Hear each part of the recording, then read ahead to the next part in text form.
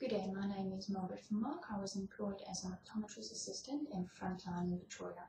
I had three years working experience in the medical sector and one year working experience in the marketing sector. I can describe myself as a friendly, hardworking and thorough person. I'm also a natural problem solver and passionate about my career. I'm interested in any administration, data capturing and receptionist positions. Thank you for reviewing my profile. I look forward to meeting you.